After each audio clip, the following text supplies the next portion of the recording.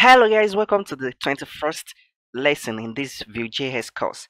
And in this particular lesson we are quickly going to look at how to set up redirects and set up 404 pages in our Vue.js app. Alright, so in the last lesson we learned how to set up this dynamic route and this dynamic navigation and params. But if we should come here to our recipe uh, to this particular app our vue.js app and i should go to maybe forward slash all recipes and i should click on enter.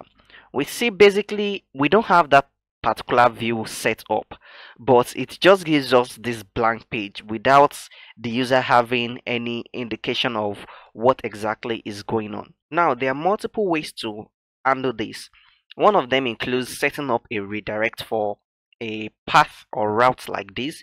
So let's look at how to actually do that. What I'm going to do is I'm going to add another object. Now I'm going to add the name of the path we want to set up a redirect for and in this case it's going to be forward slash all and then hyphen recipes and then the next thing is going to be a key which is going to be redirect and this is all going to have the value of the path we want to redirect to. So recipes. So essentially whenever we're basically telling the view Vue and the Vue Router that whenever a user goes to these all recipes uh, routes we want you to actually redirect them here. So let's save that and let's see what that gives us. So what i'm essentially going to do is refresh that. And we should see that automatically redirect. So if i should come here and i should put all recipes. It would automatically redirect here now the second way we can actually handle this is set up a 404 page. So the first thing i'm going to do is under my views i'm going to create a new view and the view is going to be 404 view view dot vue. And i'm basically going to generate my view file right here. So view init and this is basically going to say I have an h1 that says page not found.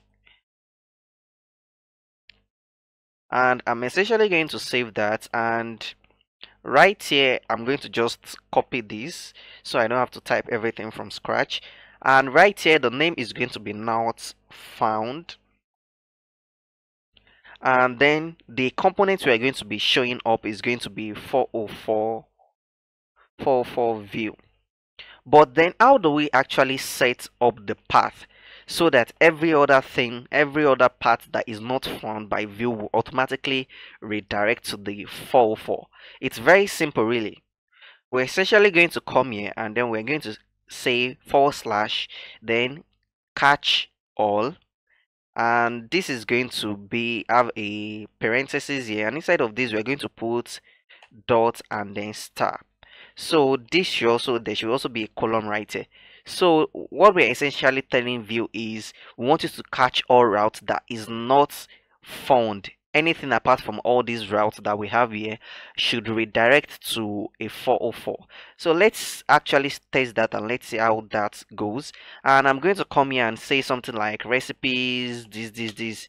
And we should see this redirecting to a 404 page. We can see it here. So instead of if i should come here and i should put something like about uh, hyphen us and that should automatically direct to a 404 page rendering this particular view we have here now, in the next lesson, we're going to be looking at one of the important additions that was made to Vue in version 3, which is the composition API.